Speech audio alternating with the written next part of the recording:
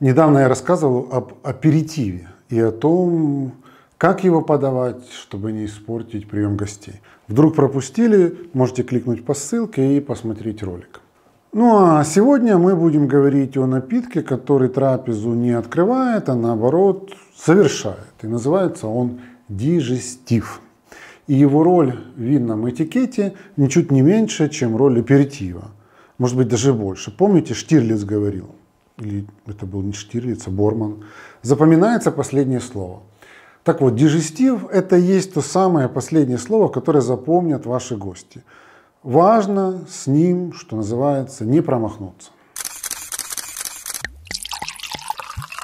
Меня зовут Алексей Капуста, и я создатель винной школы онлайн Витис Про. Если вы хотите разбираться в вине лучше, чем сейчас, то подписывайтесь на этот канал и ставьте лайк этому видео. Мы выпускаем ролики каждую неделю, говорим о вине человеческим языком и делаем это увлекательно. Само слово «дижестив» французского происхождения. Означает оно буквально «средство, способствующее пищеварению». Так уж вышло, что в средние века аристократы любили очень плотно поесть, а после обильных трапез частенько страдали несварением. И здесь им на помощь приходили аптекари, которые подчивали объевшихся богачей различными горькими субстанциями на травах. Еще в средневековой Франции были популярны ликеры и различные смеси на основе вина, пряностей и сахара. Считалось, что эти сладкие напитки тоже помогают пищеварению. Ну а сегодня пищевые привычки людей немножко изменились, ну а традиции остались. Правда, на первый план вышла другая роль дижестива – закрепить послевкусие красиво завершенного вечера. Дижестив для трапезы – это как финальный выразительный штрих портрету. Когда я рассказывал про аперитив, то говорил, что неудачная подача этого напитка может испортить весь прием гостей. Дижестивом все не так строго. Даже если вы с ним прогадаете, то вряд ли это напрочь перечеркнет впечатление от хорошего вечера. Но все же стоит постараться, чтобы этот напиток стал для ваших гостей ярким, финальным аккордом и оставил приятное послевкусие. Как этого добиться? Прежде всего нужно знать несколько простых, но довольно фундаментальных правил. Итак, дижестив должен быть крепче и насыщеннее аперитива, также всех напитков, которые вы подавали в течение вечера. Здесь логика очень проста. Если, к примеру, подать легкое игристое вино после плотных красных, то оно попросту потеряется, покажется безвкусным. Второе. Гармонировать с напитками, которые все это время были на столе. То есть важно учитывать, из какого сырья они сделаны. Допустим, за ужином вы пили вино, тогда дижестив должен быть на основе винограда, например. Коньяк, граппа, крепленное вино и прочее подобное. Далее, не конфликтовать с едой, которую вы ели за ужином. Предположим, у вас именно на этом ужине в меню было много плотных жирных блюд. Тогда лучше воздержаться от сладких напитков или сложно составных коктейлей. Лучше взять что-то с кислинкой или горчинкой. А вот после легкого ужина вполне возможно подать ликер, десертное вино или коктейль. Диджестив должен подаваться небольшими порциями. Обычно это 25-50 мл. Кстати, есть специальные бокалы для диджестива. Они компактные, тюльпановидной формы, широким дном и плавным сужением кверху. Что касается вкуса, то здесь ограничений для диджестива практически нет. Довольно часто он бывает сладким заменяет десерт, но это может быть и горький, и кислый, кисло-сладкий, и даже такой, знаете, островатый на вкус напиток. Существует две традиции подачи дижестива. Французская и британская. В первом случае мы учитываем его, что называется, пищеварительные свойства и его вкусовые качества. То есть это может быть что-то не сладкое, крепкое, с кислинкой или горчинкой. Но вот в британской традиции основной упор все же делается на вкус напитка. Так уж повелось, что британцы любят пить на дижестив что-то сладкое и с комплексным сложным букетом. В идеале портвейн. Это, кстати, один из любимых дижестивов Елизаветы II, королевы. И вот, наконец, мы подошли к тому, какие же напитки можно подавать на дижестив. Список очень обширный, поэтому я подготовил для вас только топ-10 из вариантов.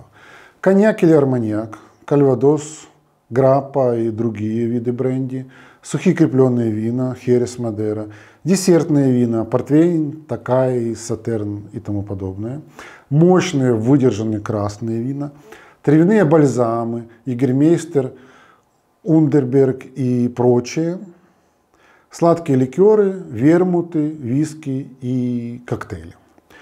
Если же с чистыми напитками все более-менее понятно, то про коктейли хочется сказать еще несколько слов. Потому что их подают как на аперитив, так и на дижестив. Но это совершенно разные напитки, как не перепутать. Очень просто. В начале трапезы нам требуется что-то максимально легкое, а вот под конец уже можно выпускать тяжелую артиллерию. Есть несколько групп коктейлей, которые принято подавать на дижестив. Сауэры. Здесь, как можно легко догадаться, речь идет о кислых напитках.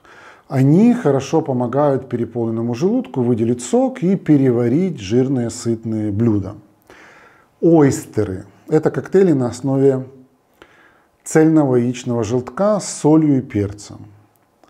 Такие напитки не сладкие, а скорее кисловато-острые, потому что в них часто добавляют томатный сок и перец. Также в этих коктейлях присутствует крепкий алкоголь, виски, джин, текила. Они помогают взбодриться и стимулируют, опять же, пищеварение. Фрозены. Здесь тоже легко догадаться, что речь идет про очень холодный коктейль, основную часть которого составляет лед. Его измельчают, насыпают в бокал, а сверху льют алкогольный напиток.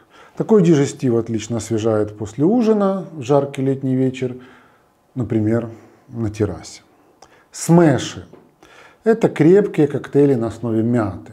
Они успокаивают, помогают расслабиться и подготовиться ко сну, ну и тоже улучшают пищеварение. Флипы.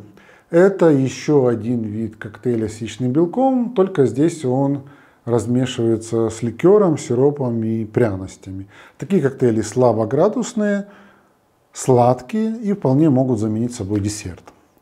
Слоистые. Приготовление таких напитков требует мастерства и терпения, но если уже очень хочется удивить гостей, то почему бы нет? Главный секрет – наливать в рюмку или бокал напитки разной плотности, и тогда они не будут смешиваться между собой и лягут ровными красивыми слоями. Но сразу хочу предупредить, следом за вау-эффектом может наступить некоторое разочарование, потому что на вкус такие коктейли могут часто быть ну, такими странноватыми.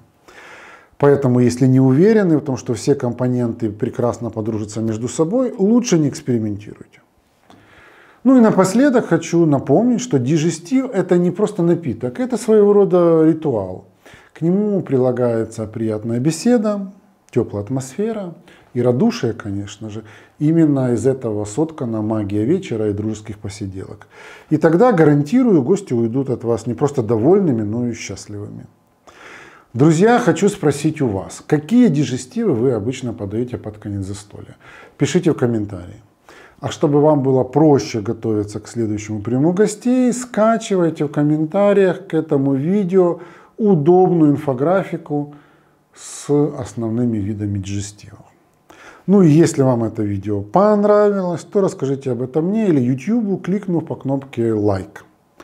А если вы не хотите пропустить еще более интересные новые видео на этом канале, то подписывайтесь и кликайте на колокольчик. Также обратите внимание, что под этим видео есть кнопка «Поделиться». А поделиться нашим видео с другом, ну это не просто поддержать наш канал. Главное, мы с вами распространяем настоящую винную культуру. Это, согласитесь, дело благородное. Мы ведь делаем совсем другой канал про вино.